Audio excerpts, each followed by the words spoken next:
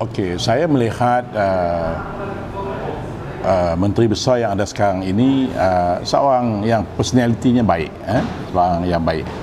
Cumanya dia tidak cukup pengalaman dari segi pentadbiran negara. Uh, dia keluar universiti tidak pernah menjadi pegawai kerajaan atau tidak pernah men- mengetuai mana-mana organisasi kerajaan. Uh, pengalaman yang dia ada hanyalah sekat menjadi setiausaha politik pada MB ya. Jadi uh, saya ingat itu yang pertama. Yang keduanya pula uh, dia ambil tengah jalan. Bila dia ambil tengah jalan ini agak agak sukar uh, dia nak membentuk pemikiran. Sebab di Kedah ni yang paling penting ada tiga komponen. Pertama komponen Tuanku Sultan.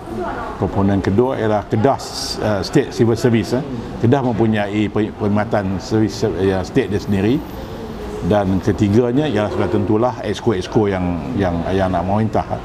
Jadi yang pertama sekali ialah Tuanku. Tuanku Sultan amat terbuka.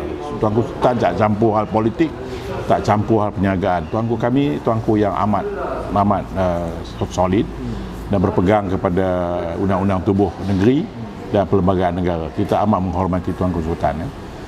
Uh, begitu juga uh, well, isu yang kedua ialah isu uh, KCS Kedah Civil Service ni ada 168 dan 169 orang yang kalau dihimpunkan pengalaman mereka saya rasa di antara yang terbaik di Malaysia lah.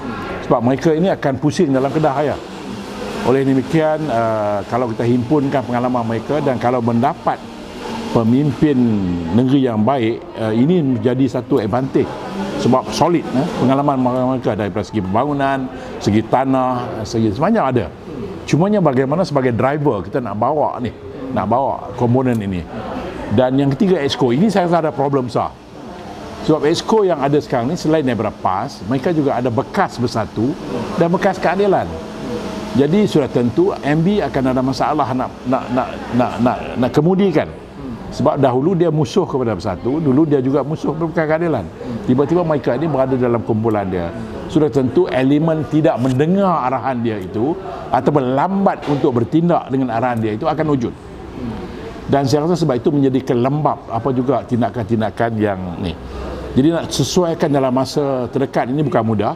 Dan dia ada dua tahun lagi nak merintah jadi saya ingat uh, saya saya simpati dengan dia.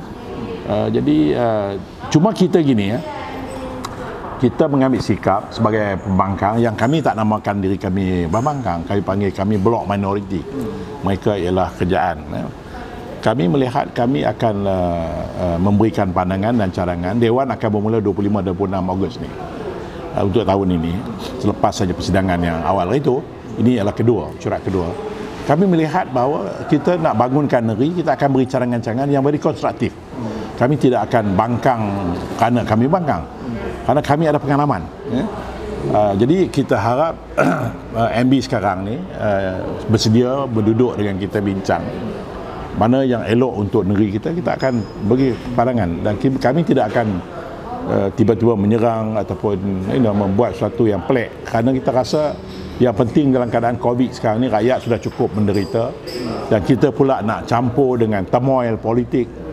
Uh, saya rasa itu tidak tidak tidak adil lah kepada rakyat. Jadi kami berpandangan terbuka. Benda yang elok kita kata kita sokong, ada benda yang tempang kita akan betulkan dan pastinya kami akan memberikan cadangan-cadangan supaya negeri dapat uh, dibangunkan dan dikemudikan. Cuma uh, pada Sanusi uh, saya ucapkan good luck to him lah. It's not easy ya. Yeah. Yeah, yeah.